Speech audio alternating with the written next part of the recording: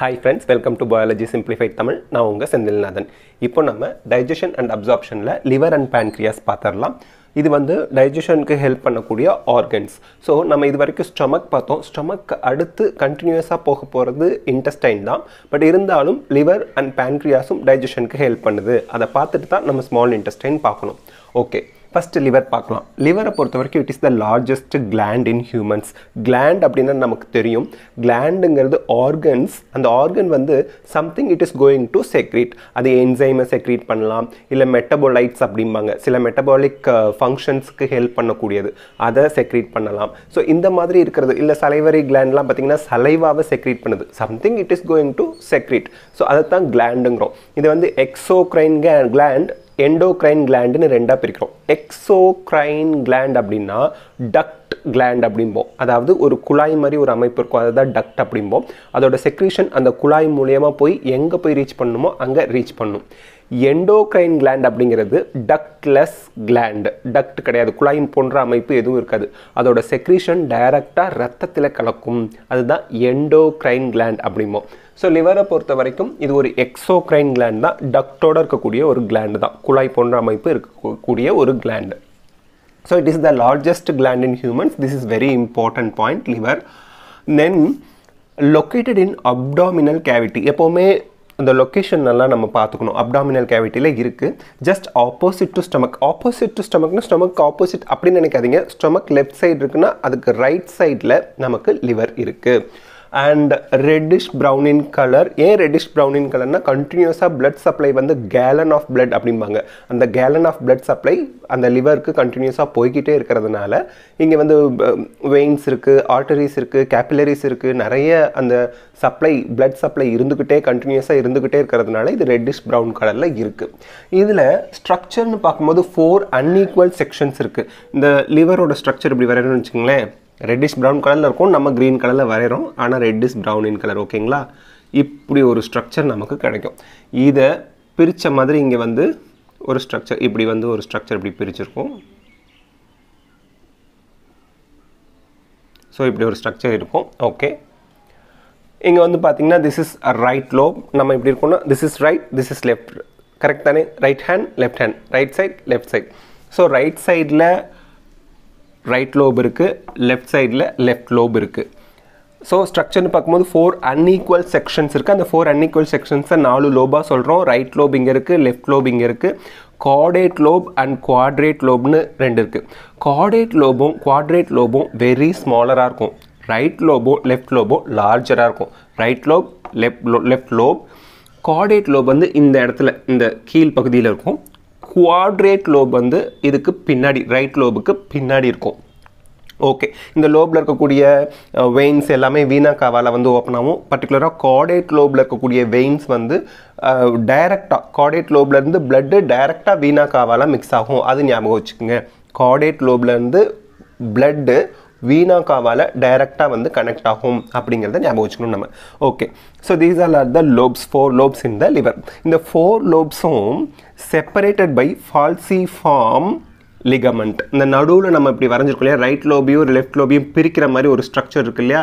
இதைத்தான் நம்ம வந்து falciform falciform ligament அப்படின்னு சொல்லுவோம். ஓகேங்களா ஃபால்சி ஃபார்ம் லிகமெண்ட் நெக்ஸ்ட் வந்து ஹெப்பாட்டிக் லோபியூல்ஸ் அப்படிங்கிற ஒரு ஸ்ட்ரக்சர் இங்கே வருது. They are structural and functional unit of liver so இந்த ஹெப்பாட்டிக் லோபியூல்ஸ் அப்படிங்கிறது என்ன?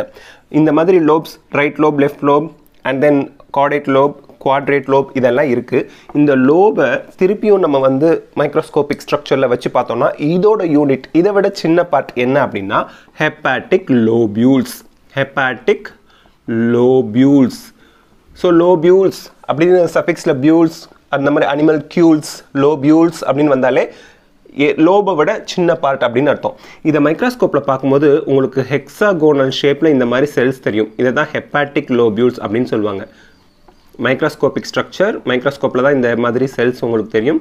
ஹெக்ஸாகோனல் செல்ஸாக இருக்கும். ஹெக்ஸாகோனல் செல்ஸ் ஆறு சிக்ஸ் ஃபேஸ் சிக்ஸ் சைட்ஸோடு இருக்கிறது தான் ஹெக்ஸாகோனல் செல்ஸ் மோ ஹெப்பாட்டிக் லோபியூல்ஸ் இவங்க தான் ஸோ இங்கே வந்து பார்த்திங்கன்னா இந்த மாதிரி ஃப்ளவர் லைக் ஸ்ட்ரக்சர் மாதிரி தெரியும் நமக்கு.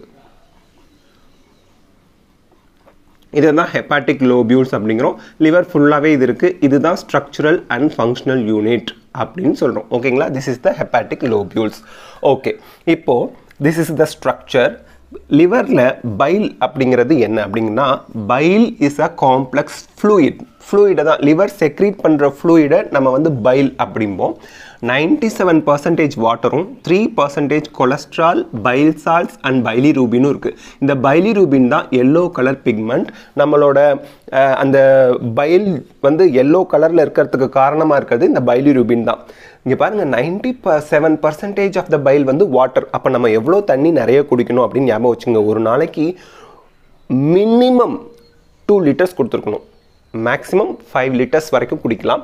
சில டாக்டர்ஸ் வந்து எயிட் லிட்டர்ஸ் குடிங்கன்னு சொல்கிறாங்க பட் மினிமம் டூ லிட்டர்ஸாக இருக்கிற பட்சத்தில் மேக்ஸிமம் ரொம்ப ஜாஸ்தி எயிட்னு வச்சுக்கலாம்.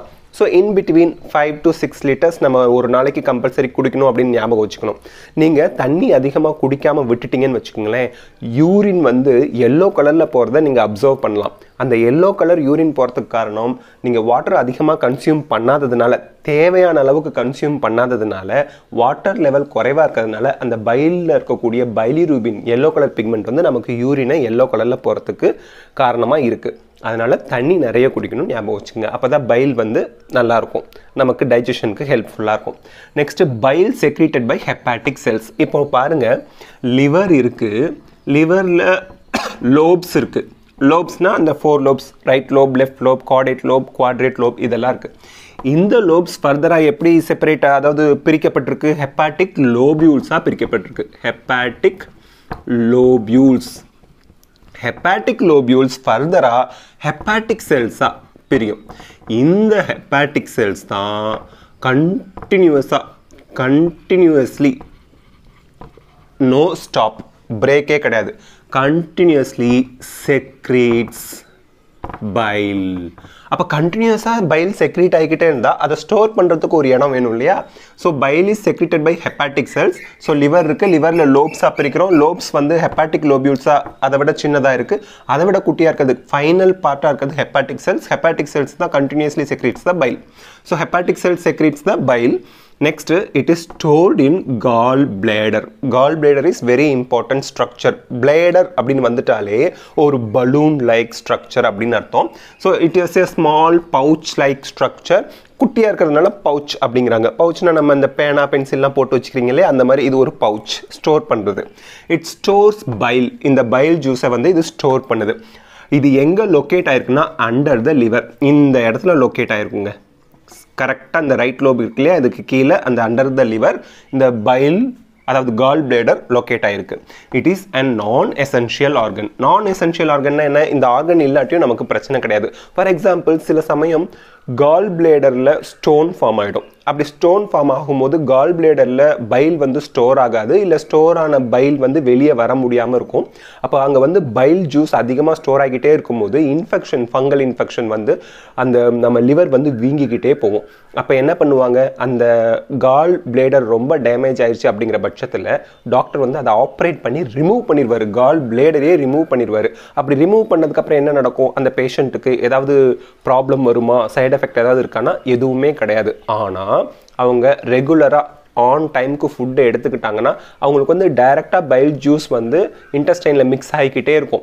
ஸோ அதை ஓவர் கம் பண்ண மாதிரி அவங்க ப்ராப்பர் பிரேக்கேஜில் அதாவது பிரேக்ஃபாஸ்ட் லஞ்ச் டின்னர் இதெல்லாம் சரியான நேரத்தில் ஃபுட்டு எடுத்துக்கிட்டே இருந்தாங்கன்னா எந்த பிரச்சனையும் இல்லை. இன்கேஸ் ஃபுட் இன்டேக்கில் ஏதாவது ப்ராப்ளம் வருது அவங்க சரியாக ஃபுட் எடுத்துக்கலன்னா டயரியா இந்த மாதிரி ஏதாவது பிரச்சனை வரத்துக்கு வாய்ப்பு இருக்குது ஆனால் உயிருக்கு எந்த ஆபத்தும் வராது. So gall bladder non essential organ ஏதாவது இன்ஃபெக்ஷன் வந்து அதை ரிமூவ் பண்ணாலும் நம்ம ஹியூமன் பீயிங் வந்து சர்வைவ் ஆவாங்க. எந்த பிரச்சனையும் இருக்காது. So these all are the things we should know about liver இது pancreas. So elongated flat and organ located in the abdominal cavity behind the stomach நம்ம ஸ்டொமக்குக்கு பின்னாடி இது லொக்கேட் ஆயிருக்கு. It acts both exocrine and endocrine gland how exocrine கிளாண்ட்னா duct அதாவது tube like ஸ்ட்ரக்சரோட இருக்கிறது. அந்த tube வழியாக தான் கிளா அந்த கிளாண்ட்ஸ் செக்ரீட் பண்ணின அந்த பேன்க்ரியாட்டிக் ஜூஸோ இல்லை அதோட செக்ரேஷன் வந்து ட்ராவல் பண்ணி போகும். எண்டோக்ரைன்னா டைரெக்டாக ப்ளட்டில் கொண்டு போய் அதோட ஹார்மோன்ஸை மிக்ஸ் பண்ணி விட்டுரும். டக்ட் இருக்காது. அந்த குழாய் போன்ற அமைப்பு இருக்காது. ஓகே இப்போ எக்ஸோக்ரைன் கிளாண்டா எப்படி செயல்படுது? பேன்க்ரியாஸ் இஸ் வெரி இம்பார்ட்டன்ட் ஏன்னா இது எக்ஸோக்ரைன் கிளாண்டாவும் செயல்படுது எண்டோக்ரைன் கிளாண்டாவும் செயல்படுது. எக்ஸோக்ரைன் கிளாண்ட் அப்படிங்கிறது டக்டோட இருக்குது டக்ட்டுங்கிறது டியூப் லைக் ஸ்ட்ரக்சர் மறந்துடக்கூடாது ஸோ பேன்க்ரியாட்டிக் ஜூஸ் ஃபார் டைஜஷனை சிந்தசிஸ் பண்ணுறது எக்ஸோக்ரைன் கிளாண்ட் இப்போ பேன்க்ரியாட்டிக்கோட ஸ்ட்ரக்சர் பேன்க்ரியாஸோட ஸ்ட்ரக்சர் பார்த்திங்கன்னா இந்த மாதிரி ஒரு ஸ்ட்ரக்சர் இருக்கும். ஸோ இப்படி இருக்கும்போது சென்டரில் இந்த மாதிரி ஒரு டியூப் லைக் ஸ்ட்ரக்சர் அப்படியே ரன் ஆகும். இந்த மாதிரி. இதெல்லாம் வெயின்ஸ் ஸோ இந்த டக்ட் வந்து பேன்க்ரியாட்டிக் டக்ட் அப்படிமோ. Pancreatic duct அப்படிமோ.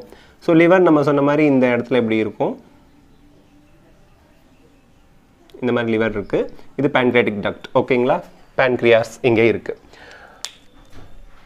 எண்டோக்ரைன் கிளாண்டுங்கிறது டக்லஸ் டக்லஸ்னா டைரெக்டாக அவங்களோட ஹார்மோன்ஸை பிளட்டில் செக்ஸ் போய் மிக்ஸ் பண்ணிடணும்.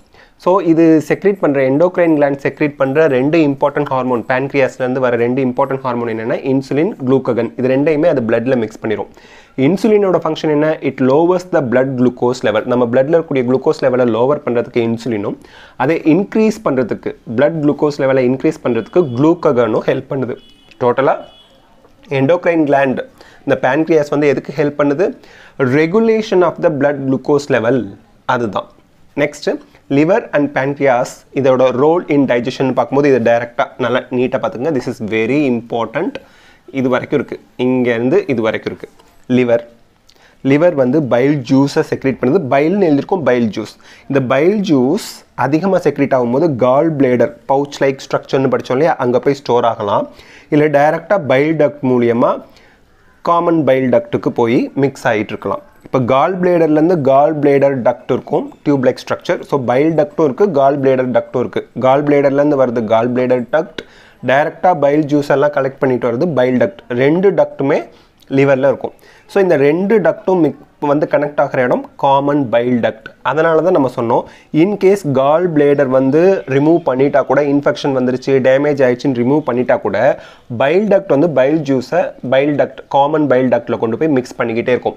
ஸோ இதை லாஸ் பண்ணினாலும் நமக்கு பிரச்சனை இல்லை. பட் இருந்தால் நல்லது. ப்ராப்பர் டைஜஷனுக்கு நல்லது. ஓகே ஸோ இப்போ பைல்லேருந்து bile duct common bile duct gall பிளேடர்லேருந்து gall bladder duct common bile டக்ட்டுக்கு bile juice travel பண்ணி வந்துருச்சு.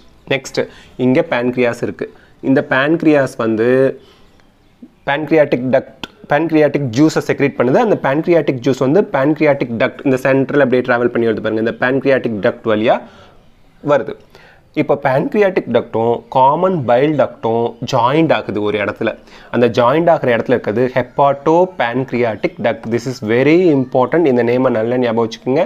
ஹெப்பாட்டோ ஹெப்பாட்டிக் அப்படின்னு வந்தாலே லிவர் ஹெப்பாட்டிக் போர்ட்டல் வெயின் அதே மாதிரி hepatic artery hepatic cells hepatic ஹெப்பாட்டிக்னு வந்தாலே அதுக்கு பேர் அதுக்கு பேர் அதுக்கு மீனிங் வந்து லிவர் அதே மாதிரி பேன்க்ரியாட்டிக் ஸோ ஹெப்பாட்டிக் அப்படி ஹெப்பாட்டோ அப்படிங்கிறது லிவரையும் பேன்க்ரியாட்டிக் அப்படிங்கிறது பேன்க்ரியாஸையும் சொல்லுது. ரெண்டு டக்டும் மிக்ஸ் ஆகி ஒரு காமன் டக்ட் ஃபார்ம் ஆகிறதுனால ஹெப்பாட்டோ பேன்க்ரியாட்டிக் டக்ட் அப்படின்னு ஒரு டக்ட் பேர் வைக்கிறாங்க. இந்த டக்டில் பைல் ஜூஸும் இருக்கும் பேன்க்ரியாட்டிக் ஜூஸும் மிக்ஸ் ஆகிடும் மிக்ஸ் ஆகிறதுக்கு அப்புறம் இந்த டக்ட் எங்கே ஓப்பன் ஆகுது? That is very important opens in duodenum டியோடினம்ங்கிறது யார்? First part of the small intestine small இன்டெஸ்டைனோட மொதல் பார்ட் பிகினிங் பார்ட் வந்து நம்ம டியோடினம்னு சொல்வோம். ஸோ இதுக்கு அடுத்த வீடியோவில் நம்ம ஸ்மால் இன்டெஸ்டைன் டீட்டெயில்டாக பார்க்கும்போது இந்த டியோடி டியோடினத்தை பற்றி பார்ப்போம் ஸோ ஹெப்பாட்டோ பேன்க்ரியாட்டிக் டக்ட் ஓப்பன் ஆகிறது டியோடினத்தில் small இன்டெஸ்டைனில் so this is very important எங்கே ஓப்பன் ஆகுறதுங்கிறது எக்ஸாம் பாயிண்ட் ஆஃப் வியூவில் கேட்பாங்க. ஓகே இப்போது இந்த ரெண்டு டக்டும் கம்பைன்ட் ஆக்கி hepato portal sorry hepatopancreatic duct மூலியமாக டியோடினத்தில் போய் மெட்டீரியல்ஸை மிக்ஸ் பண்ணிடுச்சு. அந்த மெட்டீரியல் என்னெல்லாம் இருந்துச்சு? Bile juice and pancreatic juice இதில் என்னென்ன காம்போசிஷன் இருக்குது பைல் ஜூஸோட ஃபங்க்ஷன் என்ன? டைஜஷனில் ஸோ பைல் ஜூஸ் வந்து என்ன பண்ணுதுன்னா எமல்சிஃபிகேஷன் ஆஃப் ஃபேட்டுக்கு ஹெல்ப் பண்ணுது. டைஜஷன் கிடையாது எமல்சிஃபிகேஷன் எமல்சிஃபிகேஷன்னா லார்ஜர் பார்ட்டிகல்ஸை ஸ்மாலர் பார்ட்டிகலாக பிரேக் பண்ணி விட்டுறது. So break down of fat globules fat globules அப்படிங்கிறது லார்ஜர் குளோபியூல் ஸ்ட்ரக்சராக இருக்கும். குளோபியூல்னா ரவுண்டு உருண்டையான ஸ்ட்ரக்சராக இருக்கிறது. அதை ஸ்மால் டைனி ஃபேட் ட்ராப்லெட்ஸாக சின்ன சின்ன பார்ட்டாக பிரித்து விட்டுரும். ட்ராப்லெட்ஸ்னால் குட்டியாக இருக்கிறது. ஸோ ஃபேட் மாலிக்யூல்ஸை லார்ஜர் குளோபியூல்ஸ்லேருந்து ஸ்மாலர் ட்ராப்லெட்ஸாக மாற்றுறது தான் நம்ம எமல்சிஃபிகேஷனுங்கிறோம் so emulsification of ஃபேட்டுக்கு bile juice is very important next it make the medium alkaline so அசிடிக்காக இருந்துச்சு ஸ்டொமக்கில் இப்போது ஸ்மால் இன்டெஸ்டைனுக்கு வரும்போது அது ஆல்கலைன் பேஸாக மாறணும். ஆல்கலைனாக மாற்றுறதுக்கு பைல் ஜூஸ் ஹெல்ப் பண்ணுது.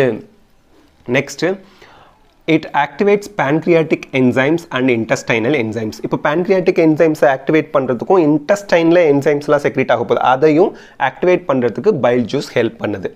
நெக்ஸ்ட் பேன்க்ரியாட்டிக் ஜூஸில் யாரெல்லாம் இருக்கா? Trypsin pancreatic amylase pancreatic lipase இந்த மூணு என்சைம்ஸ் இருக்காங்க. ட்ரிப்சின் வந்து ப்ரோட்டீன் டைஜஷனுக்கும் பேன்க்ரியாட்டிக் அமிலேஸ் வந்து ஸ்டார்ச் டைஜஷனுக்கும் பேன்க்ரியாட்டிக் லிப்பேஸ் வந்து ஃபேட் டைஜஷனுக்கும் ஹெல்ப் பண்ணுது. This is are these are the composition of pancreatic juice so these are are the things we should know about liver and pancreas இந்த video உங்களுக்கு ஹெல்ப்ஃபுல்லாக இருந்தால் like share comment பண்ணுங்கள் biology simplified தமிழுக்கு subscribe பண்ணுங்கள் thank you